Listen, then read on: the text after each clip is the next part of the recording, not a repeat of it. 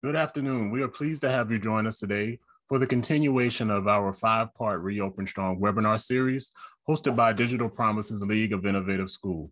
The League of Innovative Schools is Digital Promises flagship initiative, and over the past 10 years have grown into a robust dynamic network of 114 public schools in 34 states representing over 3.5 million students. League members are committed to working together to improve student outcomes and solve the challenges facing K-12 students through innovative strategies, learning technology, and research. The League of Innovative School works to validate, champion, and scale innovative learning opportunities to advance equity and excellence for all learners. I am your host, Dwayne McClary, Director of the League of Innovative Schools.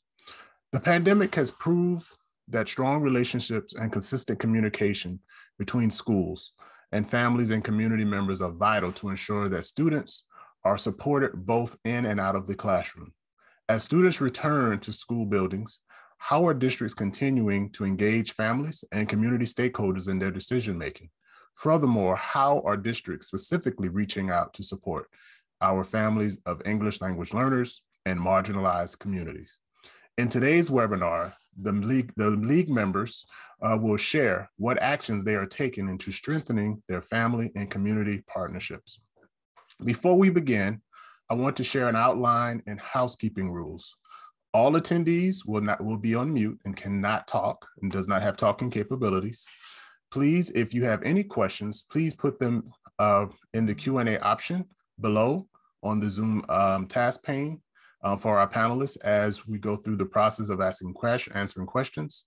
If you see or hear anything that you agree with, please feel free to show your support and adding your comments in the chat feature. For the first 40 minutes, I will moderate a discussion with our panelists. And for the last 20 minutes, we will shift to a town hall Q&A and you will be invited to drop your questions in the Q&A options for our panelists to answer your questions. Without further ado, I would like to welcome our panelists let's welcome our League of Innovative School panelists, Mr. Uh, Gudiel Crosthwaite from Lynwood Unified School Districts, Dr. Baron Davis, from uh, Superintendent of Richland School District 2, and Ms. Michelle Rodriguez, Dr. Michelle Rodriguez from Pajaro Valley Unified School District. Welcome, panelists. We're so excited to have you.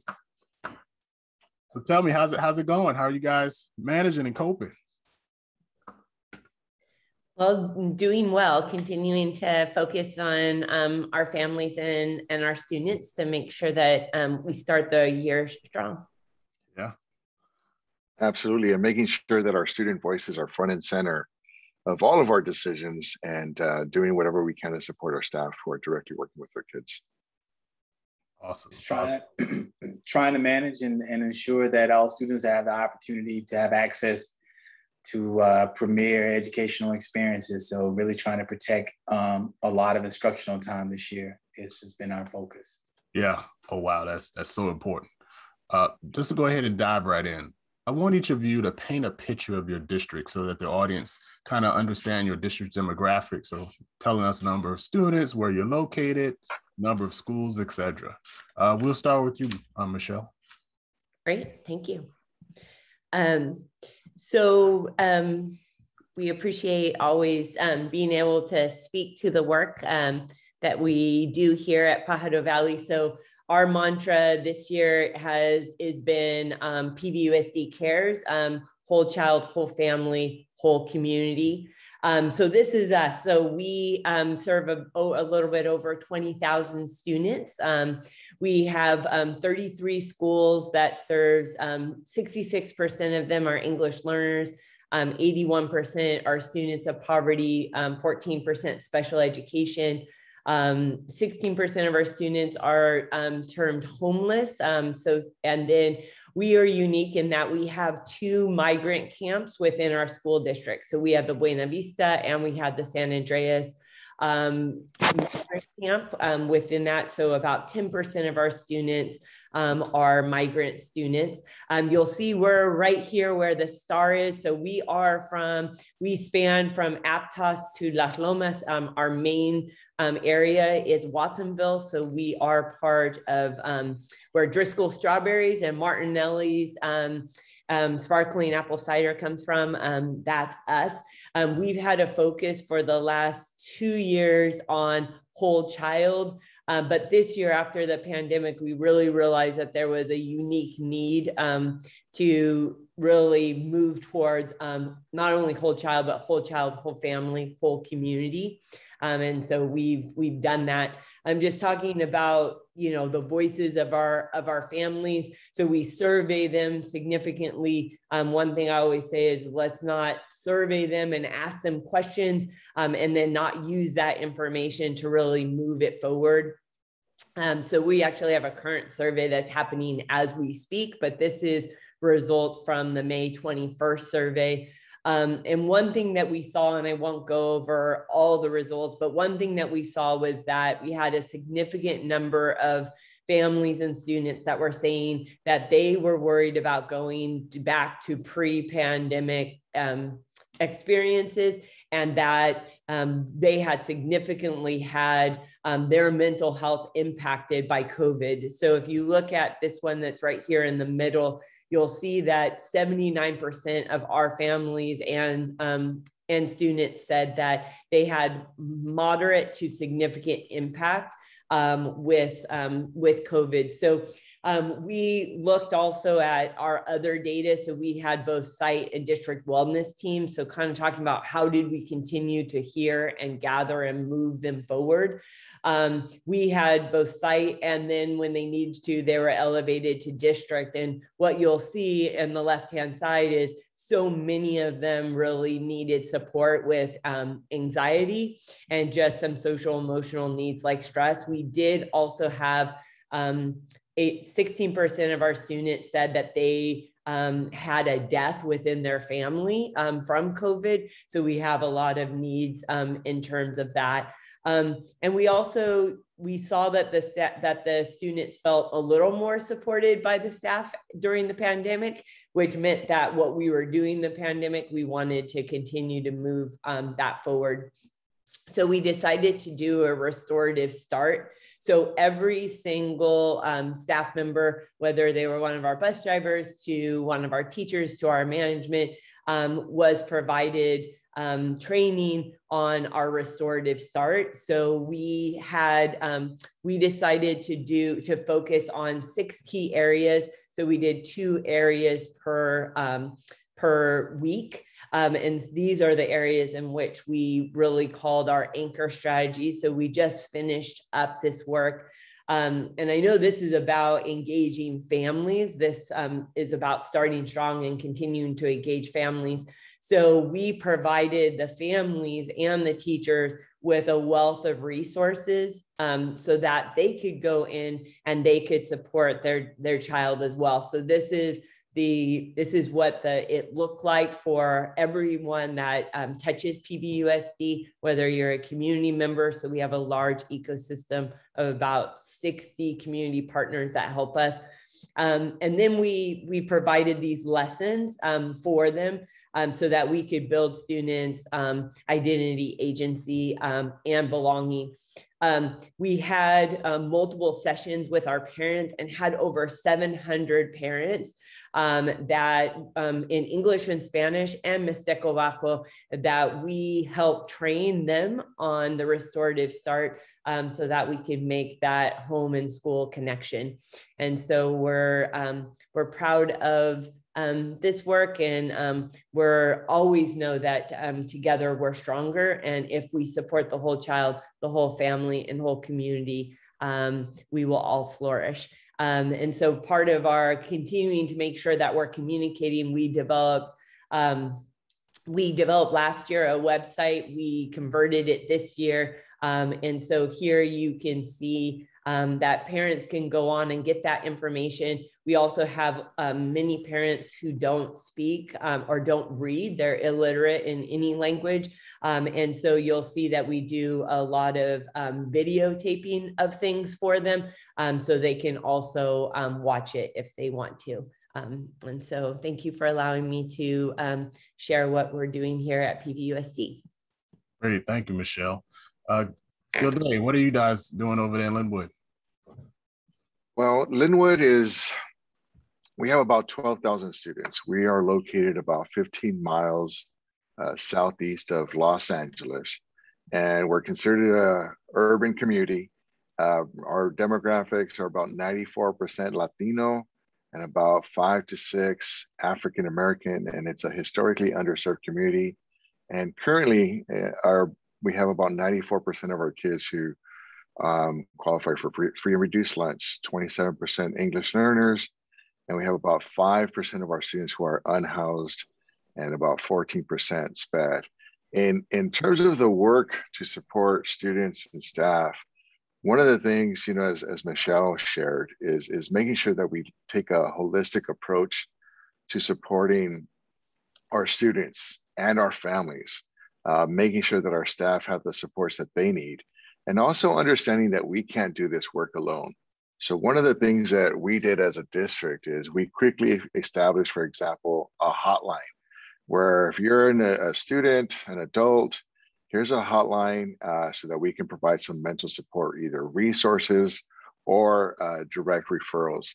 And um, that was critical for us. And again, we couldn't do this our own because even though schools are expected to do everything, we also realized that we're not the experts in that in that field. And so we actually partnered through uh, we have a we host a health collaborative and we have over 38 health agencies that partner with us to provide the support the much needed support for our students and families um, and then i'll just say one more thing is that one of the other things that we did is is we were really intent on listening and making sure that our students and our families voices were not just heard but that they were at the table that they were engaged in conversations with us so that we can better respond.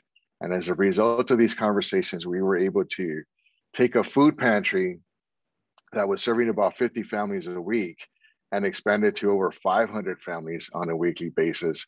We heard loud and clear from our parents and students that they wanted more access to tutoring, not just from uh, you know 3 to 5 p.m., but around the clock, 24/7. So we partnered with Paper to make that happen. And then it was also about engaging in conversations with the local churches, with the city, with the sheriff's department here, in terms of how do we collaborate as a community and come together to support one another. Because again, in, in Lynwood, uh, when the vaccines started rolling out, we were one of the last communities who have access to it. And so we had to advocate and bring these additional resources to our community to make sure that our, our families also had access to that. Um, but at the same time, there was a lot of things going on with social justice issues. And we engaged with parents on developing our uh, parent advisory, African American Advisory Parent Council. And that was critical, uh, really looking at the mirror and asking ourselves, what do we need to do differently? And, and having these conversations with kids at the table and asking ourselves, how do we enhance our curriculum? Because the adopted materials that are out there, um, aren't aren't doing it. They're not cutting it, and kids shouldn't have to go to college to learn about Juneteenth. And so those are some of the things that we were trying to um, do here. And then technology is our families did not have access to technology. They didn't necessarily have the the luxury to work work uh, remotely. They if they didn't go to work, they didn't have to. They didn't. They they had to struggle to put food on the table and pay their rent.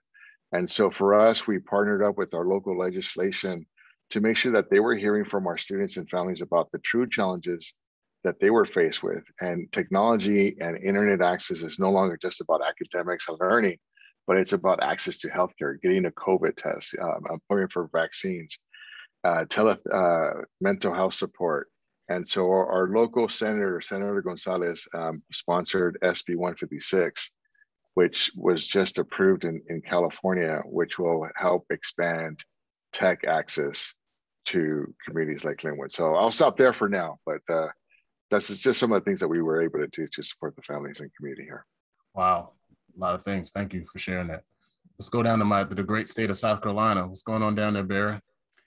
Uh, things are going well. Thank you, Dwayne. And, and, again, thanks for the opportunity to be a part of this uh, platform and this panel um, with, uh, with these outstanding superintendents from around the country. Richland, 2, we, we are located in Columbia, South Carolina. Um, Richland 2 is home to about 28,480 students as of today. Um, Uh, we are in the northeast section of Columbia uh, and mostly a suburban um, school system. Um, we have about 3,700 employees in our school district.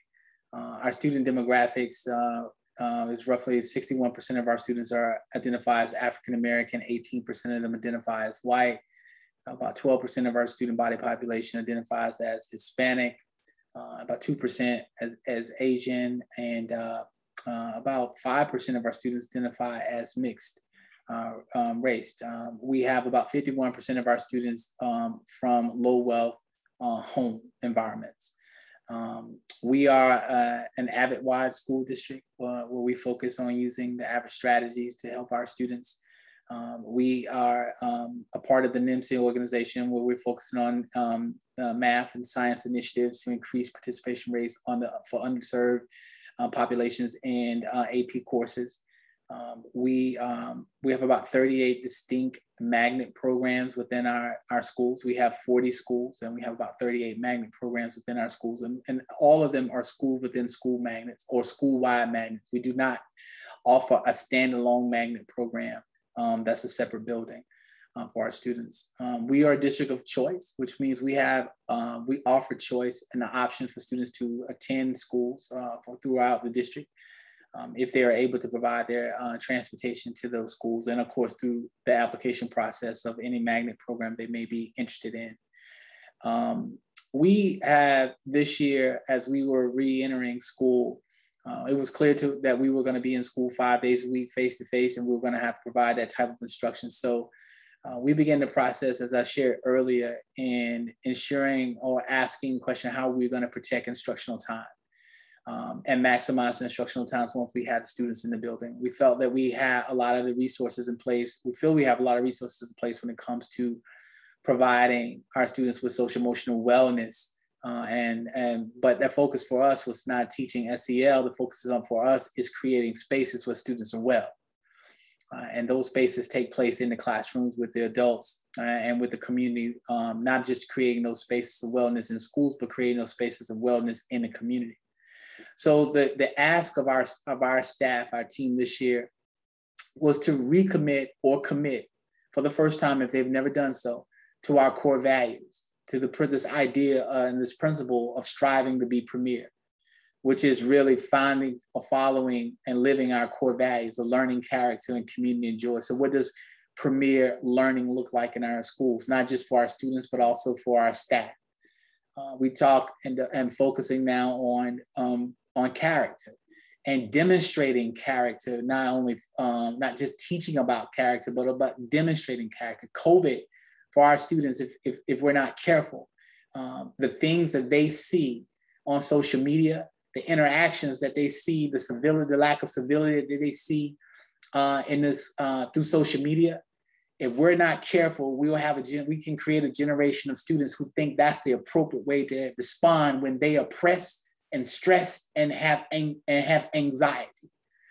And so for us, it's important for us, for me, it was important for us to demonstrate character in tough times, in difficult times, because this isn't going to go away tomorrow. Uh, and unfortunately, even when COVID moves on, there is going to be other tragedies, dilemmas, situations. And so, what have students learned about how they are supposed to respond and what does what has the environment done? Uh, what kind of environment we've created for them. So we want to demonstrate premier character at all times. We are focusing on investing in our community and what investing in community means. So we have learning character and in community. How do we invest in our community as a school system? And how does our school system invest in our students so continuing and strengthening those strategic partnerships that we had already had in place whether the partnership is with uh, the healthcare systems here to make sure that our students are being vaccinated. One of our big partnerships has been with the MUSC and ensuring and, and, and Providence Hospital ensuring that we have the access to vaccinations for those students and families who want to be vaccinated. We host a testing site right here at our district office in our parking lot and been hosting it since really since last uh, I think June um, or April.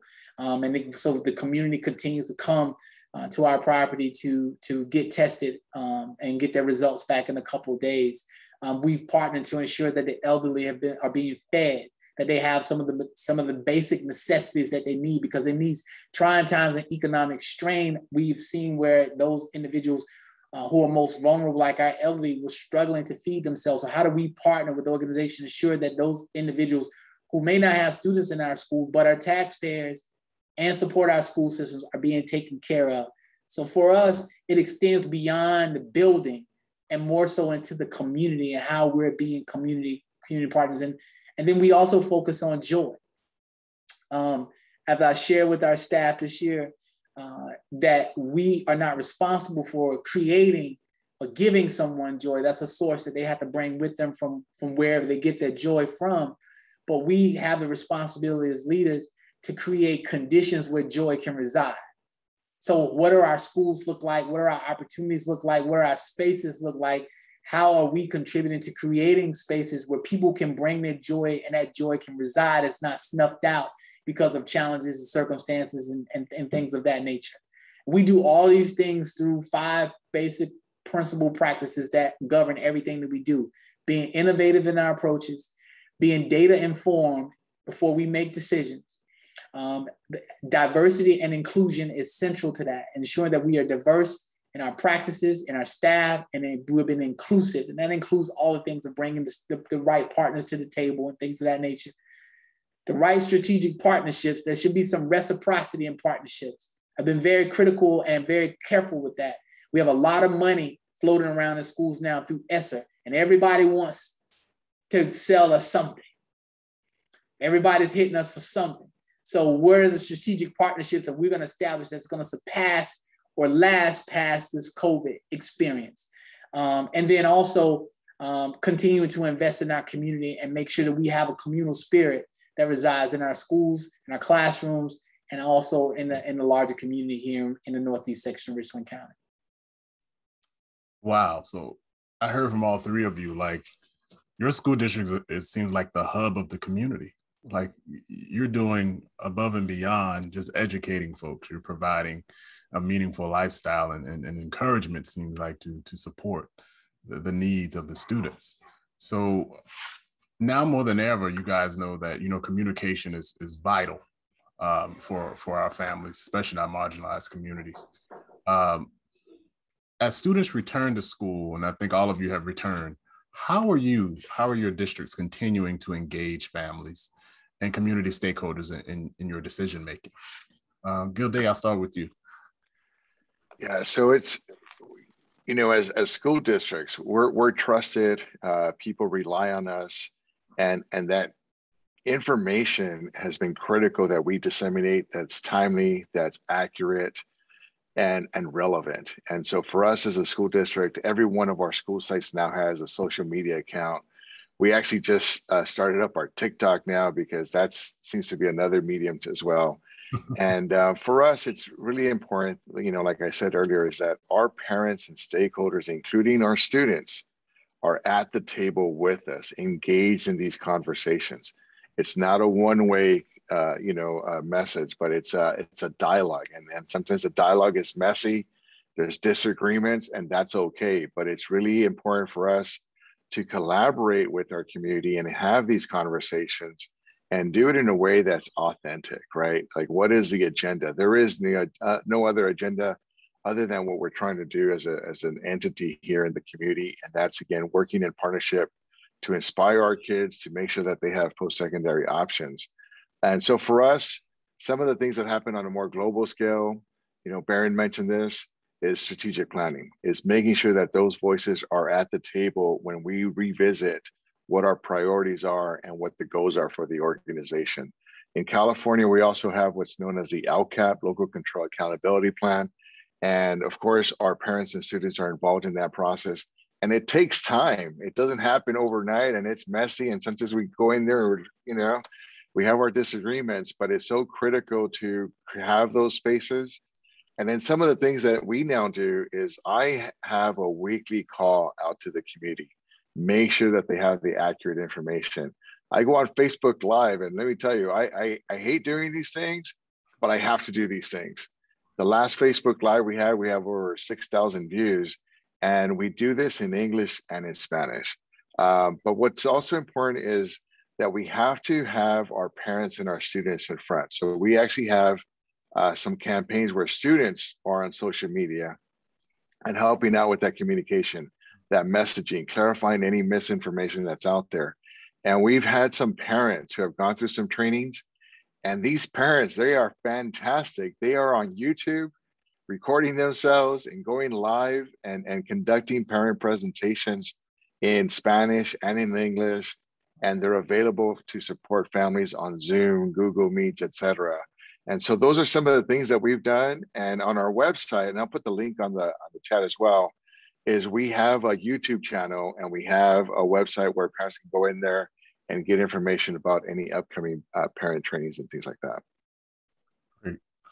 How are you dealing and, and how are you working with parents and community stakeholders, Michelle? So just add, of to add on, so we we too, and so whether it's it's surveys, we do something called ThoughtExchange, which allows um, parents to engage with each other in any translatable um, language, which I think is important. It allows them to rate what each other is saying, and we pose um, really complex questions. Um, one thing that we learned through COVID is that we'll get a lot more parent participation if we do virtual meetings. Um, and so we have every child has a computer, has their Chromebook at home. They've kept them at home. And then all of our students either have home internet or they have one of our about 5,000 hotspots. And so we um, we have continued to do town halls. Two things I think that's unique to us um, is I do something that's called Ask Dr. Rodriguez. So every week I have families that submit questions to us. Um, and then I respond to that. So we're now, um, we now started the numbers for this year, but we're on almost number 60 of that. So we I do it every single week. Um, and then I also do something called conversations with the superintendent every Wednesday. And because I just, I think it's so important to be able to have that um, multi-directional and um, just multi-dimensional conversations, right? So some needs to be in person, some can be online, some is through an actual message or a text um, that families get in. And then for me, one thing that we found with the pandemic that we've kept with is, and I mentioned it a little bit before, but the, the need to do um, videos. So when you have large groups of parents who are not literate in any language and you want to access your most vulnerable families, how do you do that? You do that um, through videos. So we do a lot of short videos in English and Spanish when we have important information coming out. I do them in English and Spanish, and then I unfortunately don't speak Mixteco Bajo, so um, we have our translator that does that. Um, but I think that way we have the ability to hear what is happening in our community, what concerns that they have, able to quickly pivot and address them. Um, and as I mentioned, what you what you hear and receive is only as good as the actions that you take. Um, and so i think our families know if they if they they're talking about something expressing a concern about something we'll we'll address it and address it quickly. Um, and so like for ask dr rodriguez i probably get you know 40 50 questions a week um, and then i pick between those questions. Um, and so those are just a few ways that we're supporting our families and communicating. Great, great. Baron, how are you engaging families and community stakeholders in your decision making? So first thing we do is we start with any group is revisiting the mission statement of our school district. Um, and I've quickly learned that, uh, particularly during this time, there are competing needs um, of families. Everybody doesn't want the same thing. So um, when we bring individuals to the table, to have the discussions and hear their voice. I understand their voices are different. They're not speaking with one unified voice. And one side of the district wants one thing, one side of the district wants another thing. One side doesn't care what you do. They just want you to tell, you know, they just want some direction and want you to make a decision for them. And they're fine with that. They can live with it. And so I bring them to the table and I want to make sure that they are clear and understand what the mission of the district is. And so the mission is always the starting point. Uh, this next thing I, I, I, try to emphasize with them is, and, and, and, Dwayne, you've heard me say this, is, is, is really asking the question and being able to answer this question of how are the children? And we want the, the, the response to be all the children are well in our school district. And that helps center us on these in these conversations we need to have as far as what do you need to or what does your child need to be well uh, in this community and so it is through those types of things um, through through several vehicles that we're able to, to get this information and partner uh, we have a relationship with the uh, ministers of the Northeast section of, of Richland, uh, of, of, our school district. We call it NIRMA, the Northeast Richland uh, Ministerial Alliance. We visit and, and, and have um, all of our principals, many of our principals participate in Rotary. So they're able to communicate uh, in their various Rotaries um, chamber. Uh, we also go to chamber, participate in chamber. We do Facebook Lives and we take the interaction questions as they're coming through. Um, we did the ESSER 3 surveys where we got input from parents on what they thought was going to be important, how we should spend the ESSER 3 funds. Um, and got some insight from parents on what that is about. We do the same thing when we do our general fund budget, as most people do, and try to get input from them. And I have several advisory councils um, that are working groups. This is not a, a place where they come in and they uh, are part of just receiving information. We, we try to establish practices, um, problems of practice within that. They review policy and give input on policy before that policy is presented to our, our school board. Um, so I have a parent advisory council, a factory advisory council, a business advisory council, and my most important advisory council is my student advisory council, uh, which I had, you know, I had a meeting with them this morning, and they had some questions. And you know, educating them just on what is exactly a close contact, why you should be vaccinated so you can avoid not being quarantined should you be in close contact, and why that's how that's going to impact um, you throughout the school year if you choose or choose not to do so, and what steps you need to take in order to protect yourself. Um, then we also have uh, we use an app on our website. It's called Let's Talk that allows parents to send information in or ask questions, and then that information is properly um, uh, routed to the appropriate person to respond um, back to parent and parent concern. And so the real challenge, as all of us is facing, is balancing all of that uh, and trying to be as responsive as we can, as quickly as we can, and also making the decisions of doing what's in the best interest for all of our students um, with understanding that there are going to be some that don't necessarily believe that's the right direction to go. Yeah, 100%. Uh, wow. Uh, so speaking on, you know, talking about supports, let's let's dive a little bit deeper into that. Tell me a little bit about um, Baron. How are you supporting, um, specifically reaching and supporting uh, your families of English language learners, the homeless and marginalized community. How are you doing that, Barry? So we we started last year with um, doing what we call we call it the inverted the system. We started deploying resources out into the community, um, and that was because we were not in the building uh, at the very beginning of the school year last year. And so we would send our social workers, our counselors, uh, our tech support team to various locations throughout our school district what, um, and some of those locations even were places where we knew that many of, of our homeless students were living in like hotels. You know, they would stay in a, in a particular hotel in a particular section of town. So we would we would send those services over there. The same thing in uh, some of our, our communities where the, um, the students uh, speak um, their first language is Spanish.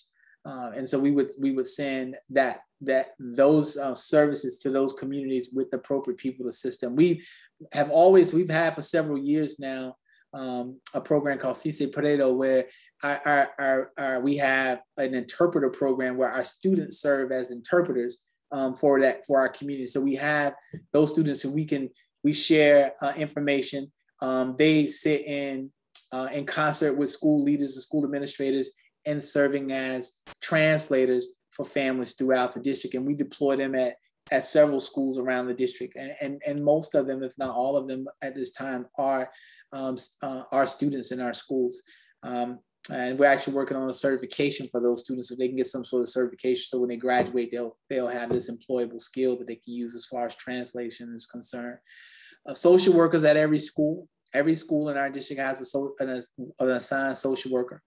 Um, we partner with um, uh, our local um, um mental health um, department. And so we have mental health counselors as well. uh, not at every school, uh, but we do have mental health counselors uh, in, in, place in our school districts to assist uh, us at various schools. Um, we, we're doing some, some work um, in partnership with the chamber uh, as well as the county to have programs in some of our high poverty areas um, that focuses on adding additional supports in those communities for additional social workers, additional counselors, additional mental health uh, counselors, as well as ad additional um, psychologists. Wow, a lot of supports. Uh, Michelle, how, what are you doing to, to reach and support the most marginalized in your community? Yeah, so I think it's really two two specific things. One is um, leveraging that partner ecosystem. So when we're talking about um, identifying with our students and and trying to support them, we think of our most vulnerable populations and how can we get to our most vulnerable students and our most vulnerable families. And frankly, most of them, it's not through the school system, it's not through the schools that we're able to see them. So um, we have, whether it's the Collective Action Board um, that has a lot of support for um, for our community, or it's Salud para la Gente, which is where all of our families go that have Medi-Cal for their personal health. Um, we have placed our um, our um, staff within those facilities so that when we have parents that never would step foot on one of our campuses goes um, to get their medical checkup or have something happen with salud para gente then we're able to access them and we have our presence there. And so i think that that's um, really important. We also have just really expanded um, our counseling and support services. So um, you kind of saw from the survey, we have over time since 2018 um, increased the amount of supports that we have. We're fortunate because we have our own nonprofit that um, is our, ther- our therapist. It's called PVPSA.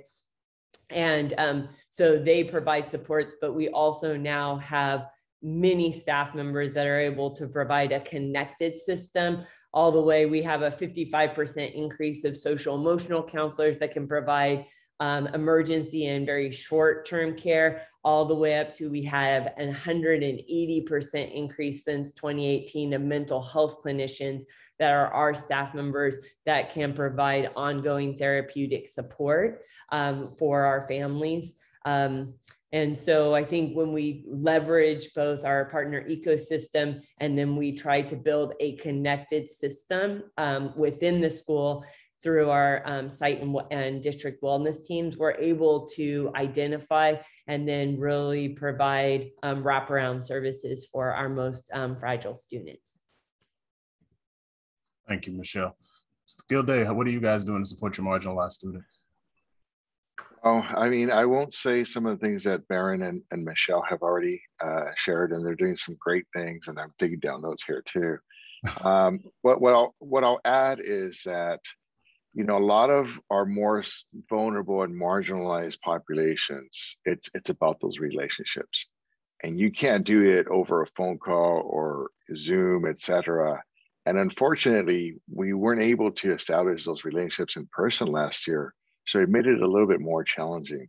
And so for us understanding that it's about those relationship it's it's also what we've also done is conducted the home visits and, and sometimes the home visit becomes visiting three different homes and talking to the neighbors and talking to relatives to find out where the kids really are because they're not necessarily in the same house that they have listed on their uh, SIS.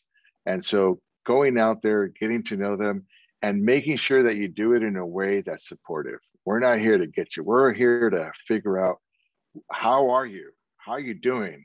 You know, is there anything that we can do to help?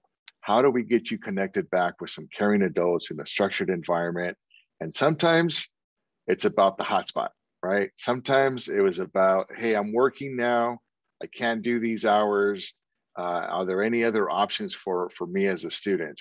And sometimes it was about basic necessities. And we had a lot of families that were just struggling again with just the basic necessities. And one of the things that uh, Michelle mentioned is a foundation. So we have a foundation here in the district. And what we were able to do is through the foundation, they raised, for example, $50,000. and and they those dollars were supposed to go to our most needy families and so in speaking with with the families you know it, it was it, we were we were going to give them some food vouchers or you know gift cards to the local store but some of them didn't even have place to cook their food right and so what they asked us is eh, can you give us vouchers for the local restaurants?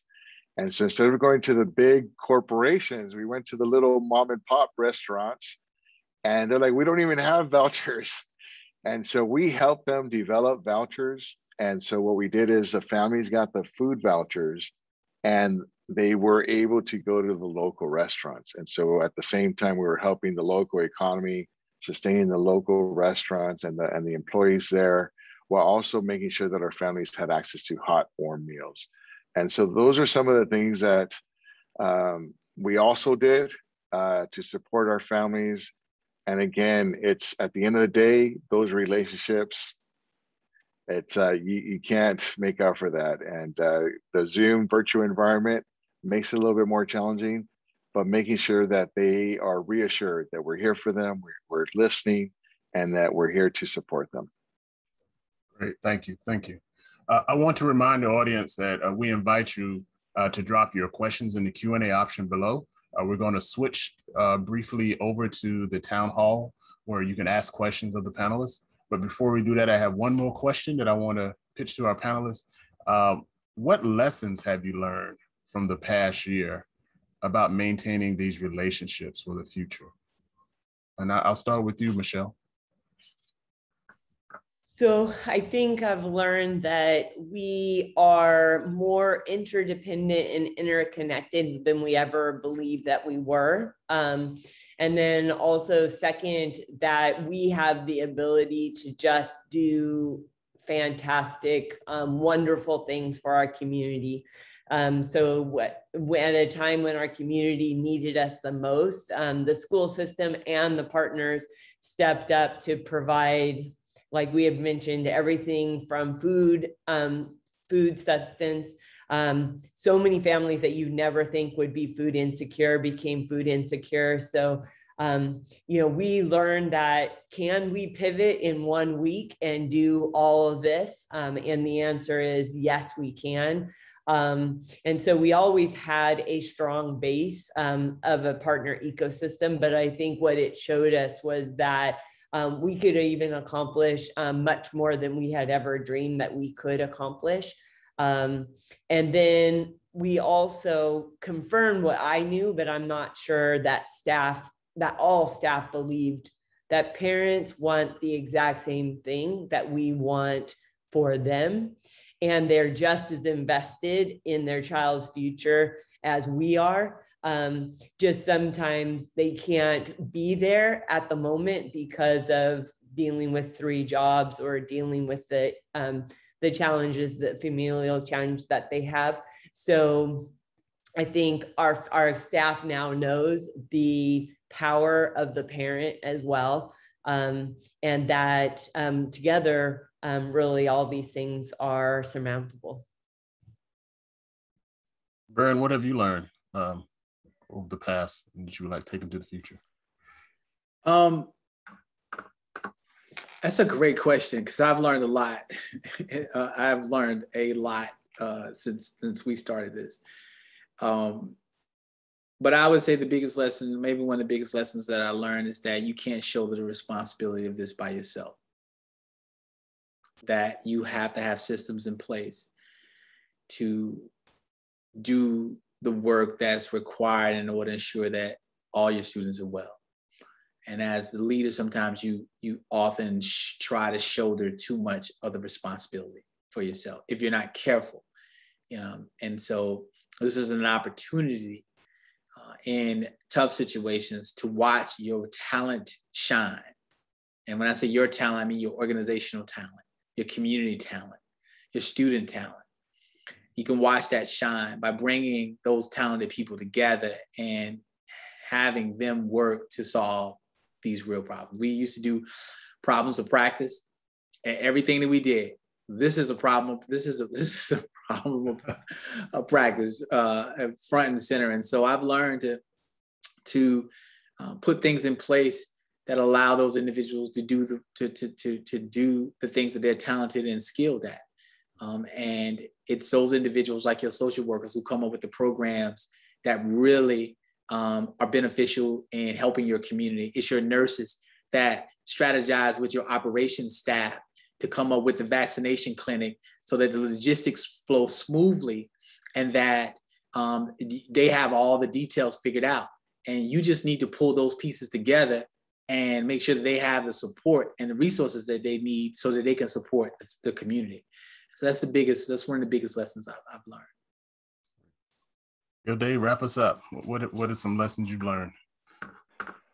What else can I say? It's, uh, you know, I think leadership matters, right? Yeah. Is we all, we all understand how important it is. And I think that districts and organizations who were intentional, collaborated, and and acknowledge that we don't know everything and we can't do everything we're actually the ones who took more initiative and were more proactive to support and better respond to the different situations and circumstances because all of us were being forced to do be out of our comfort zone. And it also just reminded me that there's hope. When i see our kids is you know the hope that they give me that things are going to get better and that we have a huge responsibility on our hands and we need to do right by them. So that when we look back at these experiences in these years i want to know and be able to look in the mirror and look to them and, and know that we did the right thing by them. Awesome awesome. So now we're going to uh, switch over to our q&a session from from our attendees. I have one question already uh, waiting for you guys. Um, and Helen stated that parents work 2,000 hours every year and students are in school for only 1,000, I guess, hours a year. Um, would love to hear how you support the out of school time in your districts and how you engage with communities in out of school time. Anybody can go for that. Well, I'll jump in um, on that. Um, uh, and, and I'd say this is with, with with all humility and, and respect. Um, one, we do have after school programs in our school district where our students are engaged in extended learning, particularly as a result of COVID. So we have extended learning programs um, that our students are engaged in several hours after school. Um, but I will say that that's a, that's a great question because it's one of those things uh, that schools can't do alone. And it's one of those things that now is the responsibility know, the, the question was preference that parents work 2,000 hours and students are unattended for, you know, they work a thousand hours. So they have this unstructured time. So the school has to figure out what to do with that unstructured time after having them for the for the morning to the afternoon. That's now the school system's re- responsibility, and uh, and so um, uh, we have to put things in place. But the question I would ask is is we need assistance with those types of things because um, in in what concerns me are the students who don't come to the after school programs that are in the communities where they need to be somewhere other than in that community. So then what are we going to do as a community to ensure that that student is safe and well and taken care of while that parent is working second and third shift and he or she is home alone or with a with a younger sibling and they have adult responsibilities. Um, for my students that can come to school after school programs and have the access and the, and the resources to do the things that they need to do, um, that's great. But I'm really concerned about those students who can't do that.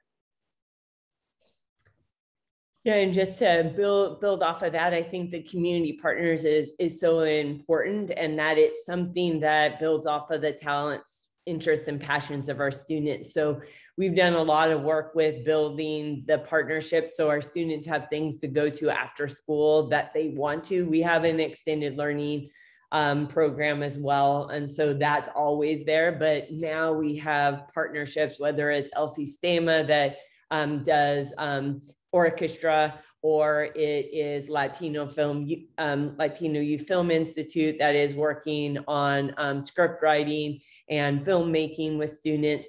That there's opportunities for students to say, "I love and and have interest in this," and so let me um, build off of that passion, interest, and talent, so that I'm doing something that is worthwhile. And then I, I've always believed in 24 7 learning. So we do, I think digital programs are a great um, equalizer um, if you can get families um, into doing that work. So we have a whole bunch of programs, but for us, one of them is Footsteps to Brilliance that at this point, um, we've now had it for four years. Our students have read in after school time over 200 million words.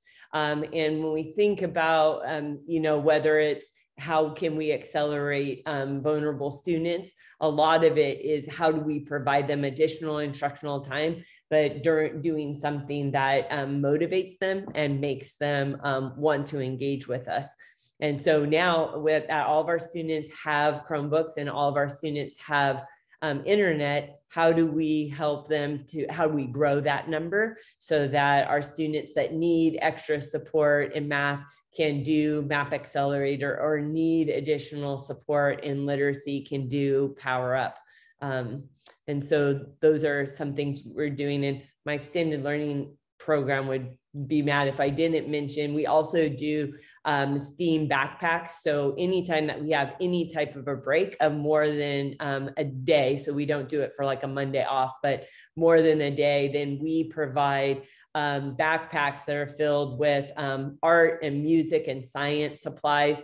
Um, so that students are able to engage at home. Um, we panned out 10,000 backpacks and they go like that. Um, and um, so I know our, our community appreciates that. Awesome. Good day.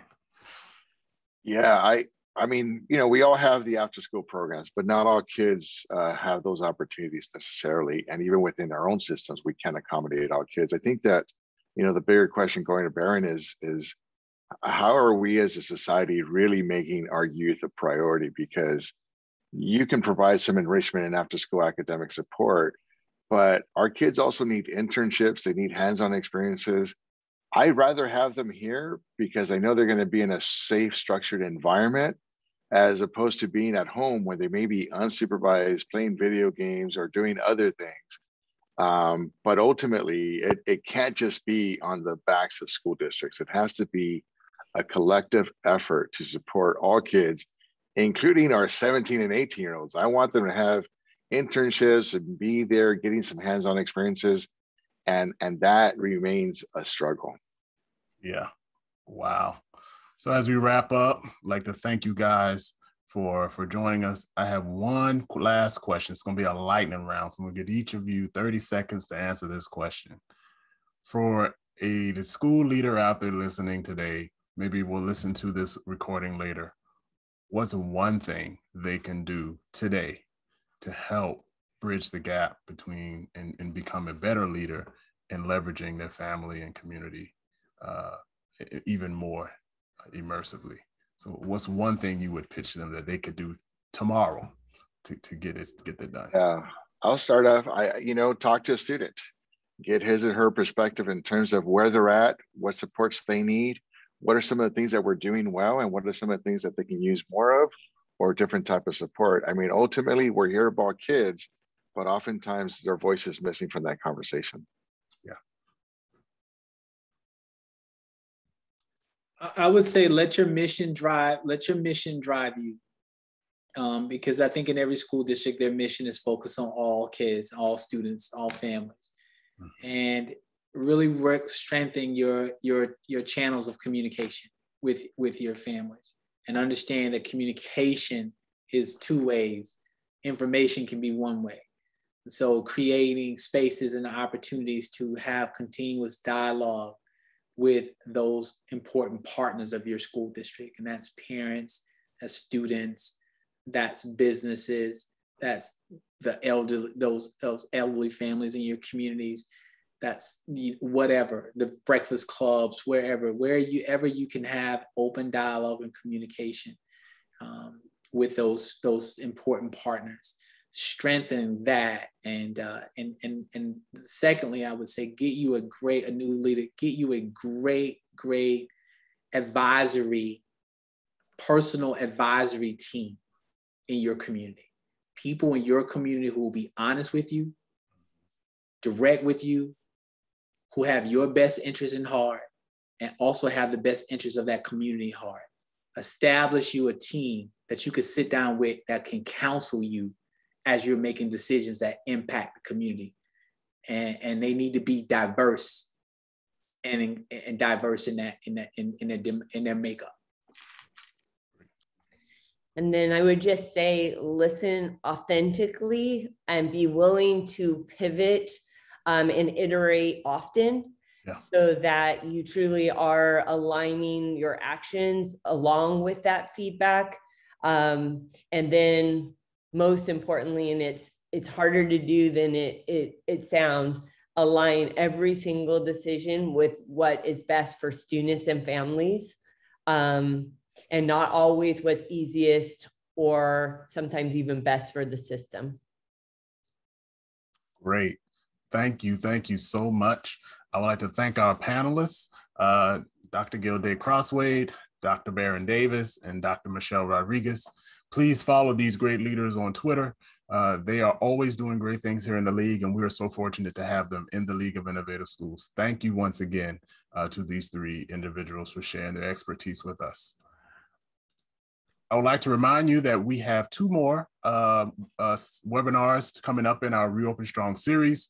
Uh, on September 22nd, we have teaching and learning and assessments. And on the 29th, we're going to dig deeper into uh, data privacy and data equity. We have rescheduled that to the 29th of September. So the new date for the data equity and privacy is the 29th. To register, please go to bit.ly. Uh, the bit.ly uh, is on the screen. Uh, and if you want to watch any of these recordings after we've concluded our webinar series, you can go to our YouTube channel on Digital Promise. Thank you once again. And we ask that each of you to continue to stay safe and continue to do right by students.